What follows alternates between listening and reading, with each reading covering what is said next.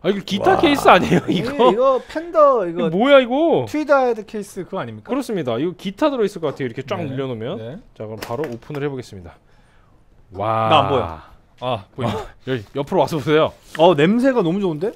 자 카탈로그도 들어 있고요. 음. 그리고 여기에 아 일단 네. 하드 박스 하드 하드 박스 하드 케이스 냄새 너무 좋습니다. 네 하드 케이스 뭐 상당하네요 부품도 여기 이렇게 쇼크 음. 마운트 들어 있고요. shock mount 이런 추가 나사 들어 있습니다. 그다음에 여기 이제 전용 아답터가 있는데 전용 아답터 보시면은 이쪽에 이제 figure eight이랑 omnidirectional이랑 cardioid 있잖아요. 음, 이걸 얼마나 있죠. 섞어 주는지 이거를 설정을 하실 수가 있습니다. 음. 그래서 총 으아, 아, 아홉 개 1, 2, 3, 4, 5, 6, 7, 8, 9 이렇게 되어 있고요. 그 다음에 output이랑 마이크 in이 있습니다. 여기 잭은 자체 잭이 이쪽에 이렇게 들어 있어요. 자 여기 보시면은 이렇게 7핀짜리, 8핀짜리. 네. 1, 2, 1, 2, 3, 4, 5, 6, 7, 7핀이군요. 네, 7핀짜리가 들어 있습니다. 가장 중요한 그죠. 마이크로 너무 긴 거 아니냐고 이거. 금괴 들어있을 것 같아. 이거 너무 길어. 이게 와. 제가 손이 작지 않은데 그니까요. 이게 뭐- 뭐야 이게? 자 여기 피아노 건반에다 한번 대볼게요. 자 도에서부터 라까지 갑니다. 좀 멀리 이렇게 하고 이렇게 좀 편법을 쓰면 시까지는 안 가는구나. 자 도에서 라까지 어느 정도인지 아시겠죠? 굉장한 길이감을 가지고 있어요. 그리고 뭐 딱히 이쪽에서 하실 수 있는 건 없습니다. 왜냐하면 전용 아답터와 어, 여기서 조작을 다 할 수 있는 컨트롤러가 있기 때문에 이쪽에 보시면 전용 7핀짜리 잭을 꽂을 수 있는 단자가 있고요. 아 그냥 길어요. 음. 길고 무겁습니다. 난 이 가방이 갖고 싶어. 가방만 달라 해. 그래서 안에 다 탈거해 버리고. 여기다가 이펙터 갖고 다니면 어. 좋겠다. 네, 또 딴소리 하고 있죠. 네, 그렇습니다. 이렇게 WA CX 12였습니다. 엄청나다 이건. 방송 미션을 양수합니다. Recording Times. 네, 굉장한 외관의 마이크를 네 살펴봤죠. 뭐. 네, 대폰지 뭐. 엄청납니다. 받아 들고 나서 이건 뭐야? 그렇죠. 저는 이제 이거 구매하시는 분들이 이제 음. 추가적으로 이제 돈이 들어가야 될게 뭐지? 이제 마이크 스탠드 이제 네, 맞아요. 고정을 잘 할 수 있게끔 이 스탠드 좀 무게를 좋은 거 사셔야 네, 좀 될것 좋은 같아요. 거 사셔야 네. 될것 같아요. 큰 거. 그리고 관리하기가 음. 생각보다 좀 쉽지 않겠다. 음. 왜냐하면 이게 성능이 좋고 뭐 음. 진공관 원래 애초에 진공관이 들어가는 것 자체가 이제 계속 관리를 꾸준하게 음. 해줘야 되는 마이크긴 한데 이게 무게로 인해서 맞아요. 자칫 잘못해서 떨어지는 음. 순간 아 이게 골치 아픈 일이 음. 벌어진다라는 그리고 스탠드 진짜 이렇게 돼 있을 때 스탠드 이렇게 기우뚱하면 훌러덩 어, 넘어가는 그죠. 막그 정도 어, 무게감이라 네네. 이건 조심하셔야 될 것 같고 그리고 뭐 크기도 워낙에 크고 음. 그 전용 아답터도 따로 있으니까 이런 네네. 거 관리 좀 신경 써서 해주셔야 될 것 같습니다. 자 어쨌든 지금 웜오디오의 마이크 중에서 좀 고가에 속하는 이제. 마이크죠. 999달러입니다. 이게 지금 권장 소비자 가격에 있어서는 지금 뭐 47보다도 비싸고 지금 한번 보고 올까요? 어, 그러니까 와 8천 빼고는 지금 제일 비싼 것 같은데요. 999 그죠? 음. 949, 899, 899 이것도 8499, 251도 그러네요. 지금 뭐 가장 비싼 마이크군요. 네, 와 8000을 제외하면은 가장 비싼 마이크 음. CX12고요. 자, 이 CX12는 그 여기 나와 있는 설명을 보시면은 튜브 컨덴스 마이크로폰 이렇게 되어 있고 밑에 Faithful Recreation of the most natural and balanced tube microphone of all time 이렇게 되어 있는데 이게 뭐냐 역사상 가장 natural하고 밸런스가 잘 맞춰진 튜브 마이크로폰을 튜브 마이크를 복각했다 음. 이렇게 되어 있는데 이 마이크가 뭘 얘기하는 거냐면 AKG C12를 얘기하는 겁니다. 음. 지난 시간에 우리가 이제 WA-47F는 Neumann Telefunken U47 replica잖아요. 이거는 AKG입니다. 그러니까 전혀 다른 마이크라고 보시면 돼요. 네. 네. 그래서 지금 여기에 나와 있는 모델이 바로 C12를 얘기를 하고 있는 건데 여기 나와 음. 있습니다. 자 여기 보시면 coveted and rare until now 이렇게 되어 있습니다. 모두가 탐내는 마이크 그리고 굉장히 희귀하다 이렇게 나와 있는데 이 WA CX12가 이제 가장 자연스럽고 균형 잡힌 진공관 마이크를 재현했다 라고 하는데 이게 바로 뭐다? 바로 AKG C12라고 이게 나와 있죠. 네. 53년부터 63년까지 오스트리아에서 생산이 되었고요. 자 이게 보시면 2,500개만 생산을 했어요. 2,500개만 생산을 했다는 것도 뭔가 그 이런 어떤 rare함에 약간 영향을 음. 미치는 포인트가 아닌가 생각이 들고요. 이 아티스트 목록만 봐도 이게 얼마나 얻는 마이크였는지 확인할 수 있는 게 뭐 비틀즈가 일단 사용을 했고요. 그리고 루페 피아스코, 톰 패티, 마이클 잭슨, 그리고 네, 알라니스 모리셋, 테일러 스위프트까지 음. 정말 굉장한 아티스트들이 많이 사용을 했습니다. 그래서 그 아티스트가 사용한 리스트만 봐도 신뢰가 가는 마이크. 음. 물론 이거는 이제 그 오리지널 버전 사용했다는 얘기 C12 그렇죠. 이걸 사용했다는 얘기는 그- 아닙니다. 그렇죠. 네. 자 타협 없는 구성 요소 이렇게 되어 있어요. 여기 다양한 이제 그 부품들과 요런 이게 어떤 것들로 만들어져 있는지 이런 요소들이 나와 있으니까 요거 한번 확인해 보시면 좋을 것 같고요. 일단 이게 수작업으로 검수가 된다는 것 자체가 꽤나 믿을만한 음. 아, 좀 그런 느낌의 마이크고요. 그리고 전체적인 톤 설명을 보시면은 그 5k에서 10k 사이에서 점진적인 boost가 진행이 되고요. 음. 그 다음에 20k 대역에서 약간 떨어질 때까지 대부분 평평한 그런 이따 싸- 볼 거지만 그런 frequency response를 가지고 있습니다. 그리고 그 중간 패턴 외에 그 cardioid omni figure eight이랑 아홉 가지 정도 지금 여기 polar 패턴을 사용할 수 있다고 나와 있죠. 그 다음에 프리미엄 12 AY7 진공관을 사용해서 에, 그 밑에 있는 다른 이제 부품들과 함께 굉장히 고급 구성 요소들을 많이 가지고 있습니다. 어, 여기 캡슐 어, capacitor 뭐 이런 마스크보드 이런 것들 전부 다 아주 좋은 부품들을 사용하고 있다고 얘기를 하고 있고요. 그 다음에 여기 보시면은 어느 부분에다 사용하는 게 좋은지 또 나와 있어요. 보컬, 피아노, 뭐 room sound 뭐 잡아내는데 다 최적화 되어 있고 그리고 요 캡슐 얘기 나와 있죠. 이런 것들이 이제 좀 고급 부품들 얘기가 나와 있습니다. premium tube, capacitor board 그리고 AMI, USA made, output transformer 얘기가 나와 있고요. 그 다음에 네, authentic appearance, 정통적인 외관 그리고 뭐 이런 elite build quality, premium accessory 이런 거 나와 있는데 뭐 딱 보면은 고급 마이크라는 생각이 확실히 들어요. 여기 보시면은 premium 12 AY7 vacuum tube 요거 사용을 하고 있는 모델입니다. 그리고 역시나 polar 패턴 9가지 cardioid 음. omnidirectional figure eight plus 6 additional mixed pattern 여- 여기 이렇게 다양하게 패턴을 mix해서 사용할 수 있는 그렇죠. 패턴까지 해서 네, 사용이 가능하고요. sound pressure level max가 149로 상당히 높은 편입니다. frequency response는 의외로 20에서 2만이 아니고 30에서 2만이에요. 음. 지난 시간에 20에서 19,000이더니 약간 이 세팅 값이 좀 독특하긴 합니다. 그렇습니다. 네, 아웃풋 임피던스는 200옴 그리고 signal to noise ratio는 73dB가 나오네요. 네, 전반적으로 아주 고급 사양을 가지고 있고요. 여기 보시면은 2k 대역부터 5k까지 쭉 올라가고 여기 10k에서 20k 내려갈 때까지 쭉 뻗어 있는 느낌 보실 수가 있습니다. 이게 기본적인 cardioid 제일 많이 사용하는 차트에서의 모양이고요. 다른 뭐 figure eight이나 omnidirectional도 거의 비슷한 양상을 보여주고 네. 있습니다. omnidirectional은 약간 하이 쪽에서의 boost가 살짝 떨어지는 느낌이 있긴 있네요. 자, 이 정도 사운드 샘플도 여기서 들어보실 수가 있어요. 자, 마이크 쭉 살펴봤고 그럼 바로 사운드 모니터 해보도록 하겠습니다. 네. 자, 이번에는 214 먼저 듣고 CX12를 듣는 방식으로 한번 진행을 해볼게요. 214입니다. 오늘의 시연곡도 역시 임영웅님의 사랑은 늘 도망가 한번 네. 들어보겠습니다. 자, 그럼 214부터 들어볼 건데요. 세팅은 뭐 많이 하진 않았고요. 딱 요 정도만 세팅을 했습니다. low랑 high 살짝 정리해주고 reverb 요만큼 준 거. 네. 기타와 보컬에 일괄 적용을 한 사운드 setup입니다. 들어볼게요.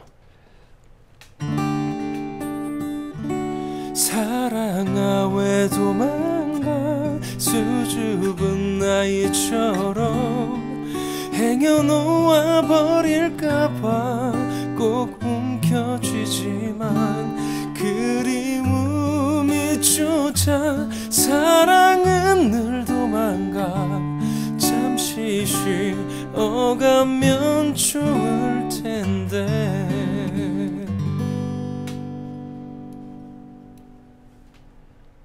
자 기대되는 CX12 사운드입니다. 네. 사랑아 왜 도망가? 수줍은 아이처럼. 행여놓아 버릴까봐 꼭 움켜쥐지만 그리움이 쫓아 사랑은 늘 도망가 잠시 쉬어가면 좋을 텐데 음, 아이 소리 좋네요 이거. 이게 약간 제 표현으로 어. 아 우리가 좀 많이 쓰는 표현이기도 한데 음.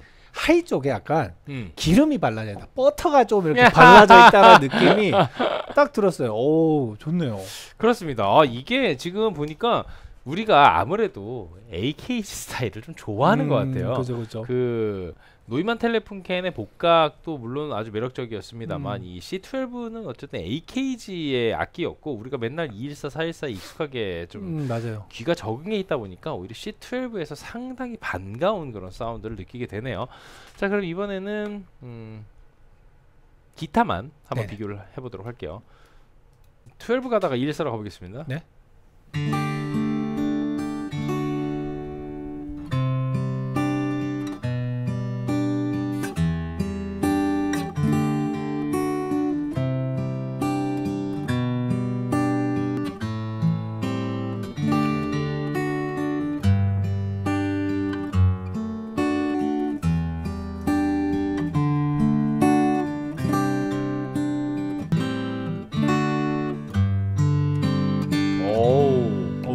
밸런스가 상당히 좋네요. 그 이게 대충 잡아져 있는데도 음. 이미 앨범에서 뭔가 듣는 듯한 그렇습니다. 정리된 이 기름 그러니까 진짜 기름 발라진 소리? 맞아요. 그렇다면 아예 EQ랑 리버브도 네네. 다 빼고 다시 한번 들어볼게요. 그냥 완전 드라이입니다 이제.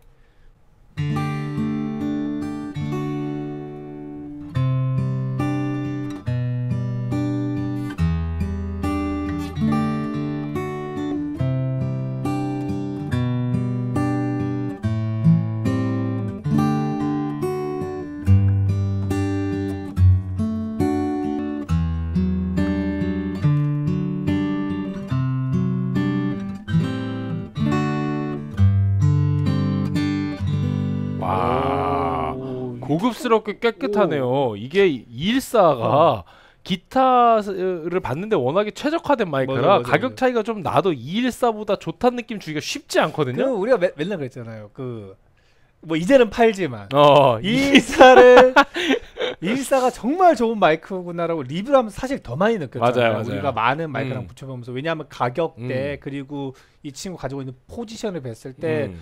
와, 214 정말 잘 만든 마이크다. 근데 정말 우리가 진정성이 있다. 버즈베이스는 안 214를 팔진 않는다. 파니까. 어. 근데 그래서 근데 이제 사장님이 나중에 아셨는지 어쨌든 이제는 그러니까 팔기 지금 시작했는데 뒤늦게 파시기 시작하셨죠. 맞아요. 근데 사실 오늘도 느껴요. 214는 정말 이 가격대 정말 좋은 마이크라는 걸 음. 다시 한번 느끼지만 요 지금 CX12 같은 경우는 이 진짜 기름을 잘 맞아요. 발라놨어요. 이게 가격대가 당연히 더 높긴 하지만 214보다 근데 진짜 밸런스가 좋고 더 좋다는 생각이 음. 드는 거는 쉽지 않은 일이거든요. 그죠, 그죠. 적어도 기타 한정으로는. 근데 그죠. 지금 CX12를 듣는데 야 이거는 좋다 사운드가. 아, 여기에 사울 한번 쳐보고 싶네요. 아 그러게 여기다 디사 붙이면 아, 주 아, 좋겠네요. 너무 이쁘게 나올 것 같아요. 아 좋아요. 지금 기타 상당히 만족스럽고요. 네. 이번에는 보컬 드라이 소스 한번 비교해 보도록 네. 하겠습니다. 이번에는 214 출발해서 12로 가보겠습니다. 사랑아 왜 도망가 수줍은 나이처럼 행여놓아 버릴까봐 꼭 움켜쥐지만 그리움이 쫓아 사랑은 늘 도망가. 잠시 쉬어가면 좋을 텐데. 와 보컬이 엄청 닮아 있어요. 이게 아무래도 확실히 AKG 제품을 복각한 거다 보니까 이런 어떤 패밀리 톤 같은 게 느껴지는데 음. 214가 가운데 영역이 조금 이제 뭐랄까 존재감 자체가 조금 적잖아요. 그죠. RM이는 좋은데 네네네. 근데 그 느낌 그대로에서 이 미들 때의. 존재감이 딱 차 있는 네네. 느낌이에요. 그래서 그러니까 이게- 와 네. 좋다라는 생각이 진짜 딱 드네요. 그러니까 지금 애초에 아직 마이크 입문하신 지 얼마 안 되신 분들은 지금 보컬로 보면서는 음, 뭐, 뭐 얼마나 차이가 있는 거야? 음. 라고 할 수는 있는데 지금 딱 말씀하 형이 말씀해 주신 그 이 빈 칸에 퍼즐이 하나 딱 들어가서 이제 다 일사가 음. 이렇게 비워져 있던 거기가 채워지고 맞아요. 그리고 초고역 대에서 느껴지는 제가 계속 아까도 말씀드렸는데 초고역대 기름이 발라져 음. 있어요. 그래서 물론 일사도 충분히 좋은 마이크긴 합니다만 일단 지금 악기를 음. 받았을 때 지금 편차가 굉장히 크잖아요. 음. 그래서 보컬 같은 경우는 뭐 어느 정도는 뭐그 일사가 뭐 카바를 칠 수 있겠다 하지만 이게 악기에서 이 정도로 기름이 발라진 소리가 난다는 거는 확실하게 이 이 마이크가 가지고 있는 아이덴티티를 우리가 음. 확인할 수 있겠다. 맞아요. 네. 조금 더 고급스러운 소리가 납니다. 말하자면. 음. 네. 네네. 확실히 지금 100만 이거 만약에 출시되면은 612 같은 경우에는 아마 414보다 높은 가격이 출시가 될 거예요. 음, 그럴 것 같아요. 뭐 들어오는 그 가격이랑 지금 환율이랑 생각을 해 보면은 얼추 한 150 전후가 되지 않을까 음, 싶은데 네네. 그렇게 되면은 414와 CX12 사이에서 충분히 고민을 할 만합니다. 음. 본인의 스타일에 따라서. 어 저는 이거 아주 마음에 드는 느낌. 음, 저도 마음에 들어요. 네. 어 이거는 251도 사실 되게 좋아했었는데 저는 47 251 중에 고르라면 251이었거든요. 예. 근데 지금 AKG 아니 이 웜오디오에서 뭐 하나 가져갈래라고 하면은 지금 이거를 갖고 가고 싶은 생각이 드네요. 그러니까 이게 아 근데 저는 그게 좀 걸려. 요 크기가 좀 너무 커. 너무 커. 너무 크고 불편해. 그러니까 그 저- 느낌이 있는데 예. 자 마지막으로 일단 그러면은 이거 네. 한 번만 그 드라이. 사운드로 쭉 듣고 바로 멘트 추가하도록 할게요. 듣겠습니다. 사랑아 왜 도망가 수줍은 아이처럼 행여놓아 버릴까봐 꼭 움켜쥐지만 그리움이 쫓아 사랑은 늘 도망가 잠시 쉬어가면 좋을 텐데 좋아요. 이거 진짜 좋아요. 이거 좋다. 이거 이 이가 뭐, 뭐 모르겠습니다. 그러니까 뭐 저희가 리뷰를 하면서 항상 드리는 말 중에 이제 어 우리가 좀 가치 있게 바라보는 어떤 기준점에서 하나를 말씀드리면 우리가 가성비에 대해서 굉장히 많이 음. 논의를 합니다. 왜냐하면 자본 안정적이고 최대 효율을 어쨌든 뽑아야 될 것이고 그리고 본인이 어떤 작업을 하느냐에 따라서 무슨 장비를 가져가는 음. 게이 투자비 대 최고의 가성비겠는가. 근데 어, 이거는 뭐 가성비적으로 전 좋은 것 같아요. 만약에 뭐 150이라는 돈이 만약에 우리가 지금 상상하는 거지만 큰 돈이에요. 큰 돈인데 뭐 어설픈 마이크로 이제 구매해서 하는 것보다 좀 프로페셔널 쪽으로 좀 더 가까이 계신 분들한테는 이것도 좀 굉장히 좋은 선택지에 있는 마이크가 아닐까라는 좀, 좀, 좀 맞습니다. 은총 씨가 말하는 가성비라는 게 굉장히 중요한 게 우리 리뷰의 존재 가치도 사실은 가성비 아이템을 찾아드리는 그쵸. 거라고 생각을 하거든요. 그게 정말 중요해요. 왜냐하면 음. 가성비라는 항목을 빼고 얘기하면 사실 리뷰를 볼 필요가 없고 그냥